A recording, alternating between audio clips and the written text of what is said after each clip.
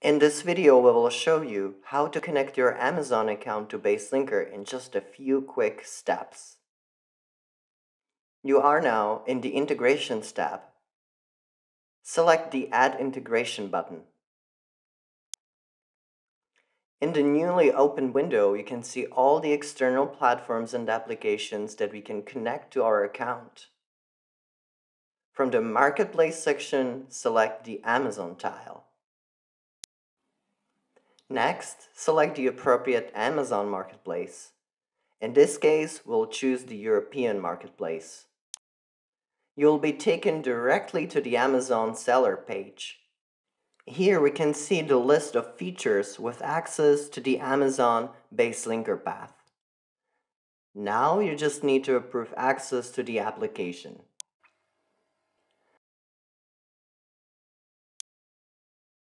In the Amazon integration settings window, you can change the account name. The value in the seller ID field was automatically filled in based on the data from your Amazon account.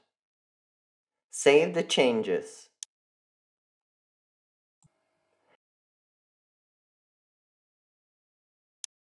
Newly integrated account is now visible in the integration tree and the list below.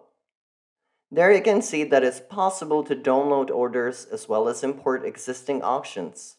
In addition, you can list new auctions, sync stocks and prices or upload your tracking numbers directly to your Amazon account.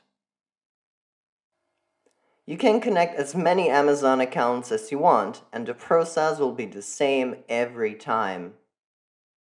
We encourage you to create an account and test all the BaseLinker features in order to adjust the system to the needs of your e-commerce.